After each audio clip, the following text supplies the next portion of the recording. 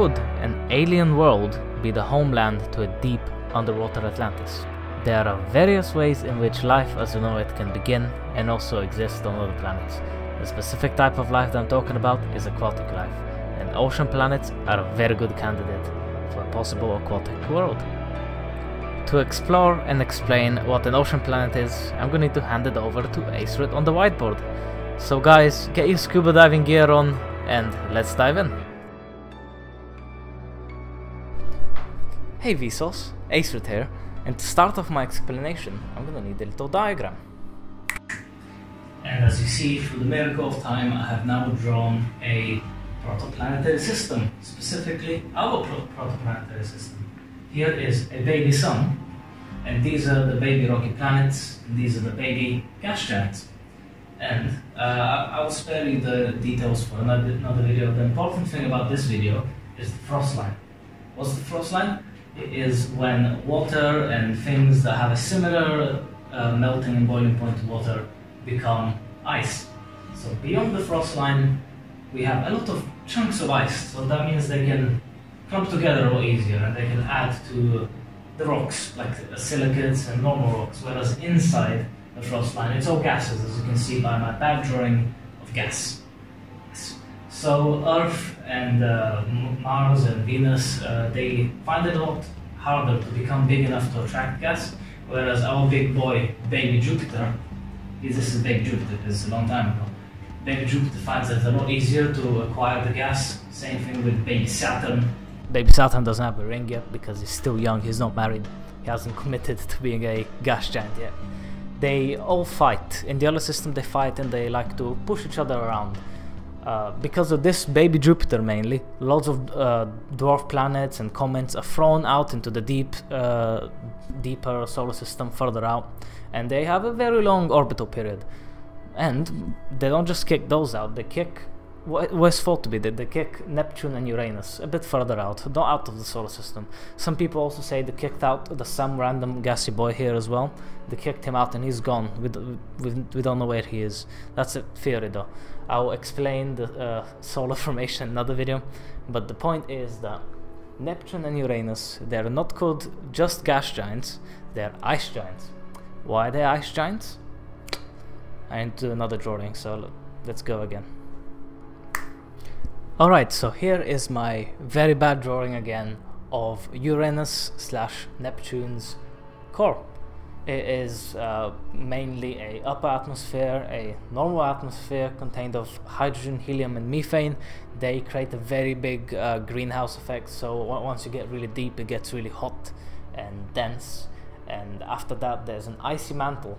It's called icy but it's not it's actually quite hot in there but it contains water, ammonia and methane and then right in the middle there's a small rocky boy. The rocky boy is probably what was first formed when, before gathering all these gases. So he's like he's in a big coat. He's in a nice winter coat to keep him warm out in the middle of nowhere, really far from the sun. But the point is this, the icy mantle. It has a lot of water in there and it's all encased. So what if this were to move a lot closer to the sun rather than be kicked outward? What if it was kicked inward by Jupiter? That is what people think happens to make ocean planets. When the planet goes really close to the sun.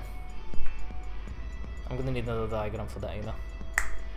Here is a more modern day solar system without most of the gas giants, but that doesn't matter. Here is Neptune. It's a very sad Neptune. Why is he sad? Because we're about to throw him further in into the Goldilocks zone. Why is he sad? Because he's going to lose some of his coat and it's gonna it's gonna be a lot hotter even though it doesn't need the coat when it's hotter. But so uh, yeah I'm gonna need another diagram for this okay? Well I'm gonna PewDiePie clap this. Meme review. Alright so what do we have here? We have a very evil looking sun. And why is the sun evil? Because he is now got a new friend to play with. He's not just got Venus, Mercury and Mars and Earth. Don't forget Earth. Earth is the most important here, I guess. He has Neptune. And Neptune's looking very worried. Why does Neptune look worried? Because he is now going to be warmed up. And what happens when he's warmed up? He sweats. And by sweating, I mean all of the gases he's got, the gases are gonna condense. Not condense, they're gonna melt because they're, they're ices and they they were cold gases. Now they're gonna fall to the surface of the planet and it's gonna have a big global ocean of water.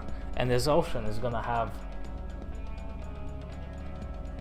an atmosphere of ammonia and methane. Yeah. After the whole effect stabilizes, this is what happens. You are left with an uh, with a Neptune with a global ocean, which is uh, many kilometers deep. It is so deep, it's you cannot imagine how deep it is. The Earth oceans are nothing compared to the depth of this ocean, and it's so deep that at the bottom the surface isn't actually like rocks or something. It's actually gonna be ice But it's gonna, not gonna be ice because it's cold. It's ice because it's there's so much pressure. The atoms are so close together they just become solid. So it's like a pressure ice and the atmosphere is gonna be made out of ammonia and methane and a lot of water vapor and that's uh, gonna be a very hot atmosphere it's not gonna be like boiling again but it's gonna be uh, considerably hotter than ours because it's trapping a lot more heat because of the greenhouse effect. So yeah.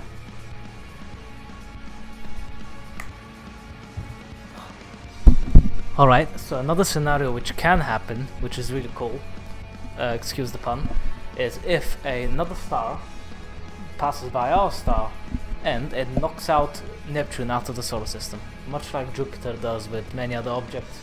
And let's say uh, Neptune's gone now is being sent into deep space with no host star and he's slowly gonna freeze. And what happens when he starts to freeze?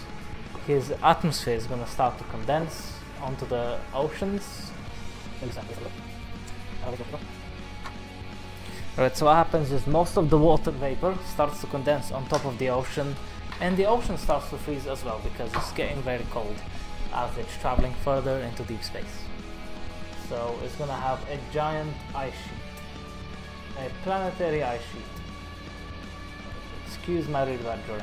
And this ice sheet is gonna actually keep it warm, because from the inside it's still got a bit of uh, a core, and the, the core is still active from the inside, so it's still warm. So it's gonna be producing some heat outwards, and it's gonna be supplying the waters with heat, making them still liquid. So it's gonna be liquid in here, if this pen would work it's to be liquid all around the planet. Whereas on the surface, it's to be a giant ice sheet of water vapor, frozen water vapor, ammonia, and methane. And it's to have a, a thin-ish atmosphere because it's to be very cold. Everything is going to be near absolute zero. And yeah, making a sort of a spaceship. And you can have this planet survive on its own for many years, many years. So you could have an Atlantis living under an ice sheet on a frozen Neptune in the middle of nowhere. Or there's another situation which is also quite awesome. Right, so the special situation that I was on about is this. Most giant planets, most gas giants in our solar system have many moons accompanying them, including Neptune. So, should Neptune be kicked out of the solar system and have another, at least one planet with him, or a couple of planets, warming him up, that could allow the system to stay not frozen for a very long time. How this works is that uh, his little moon buddy will orbit him and that will warm his insides, it will warm his heart, keeping the inside geological activities of the planet working, keeping the oceans still liquid, and possibly allowing an Atlantis to exist. Ever since the 90s, we have discovered over 4,000 exoplanets, some of which are thought to be ocean planets, and that number is still growing. Right here on our cosmic doorstep we have Europa, Ganymede and Enceladus, all of which are ocean moons. Each one of them has a thick layer of ice on their surface with a deep subsurface ocean of water, kept liquid by the tidal heating of their host planet. There are other types of oceans found in our solar system, such as the ones on Saturn's moon Titan. Instead of water, they're comprised out of liquid hydrocarbons. And who knows, maybe some exotic form of life we have yet to see lives in these oceans. I want to say a big thank you for watching this far into my video. If you have any questions on ocean worlds, or an idea for a future video, or just feedback in general, please leave a comment. If you do find this interesting, make sure you check out my other science videos as well. In the meantime, I will now leave you with the video of an ocean Neptune slowly drifting away into the dark and freezing over. And also, one last thought from me and Carl Sagan. Just imagine how many planets and moons that are out there in the billions of star systems in our galaxy alone that are capable of sustaining some form of oceanic life, or even a civilization. Those worlds in space are as countless as all the grains of sand on all the beaches of the earth. Each of those worlds is as real as ours. In every one of them, there's a succession of incidents, events, occurrences which influence its future. Countless worlds, numberless moments, an immensity of space and time. The Earth is the only world known so far to harbor life. There is nowhere else, at least in the near future, to which our species could migrate. Visit? Yes. Settle? Not yet.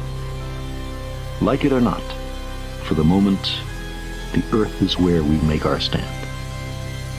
It has been said that astronomy is a humbling and character-building experience.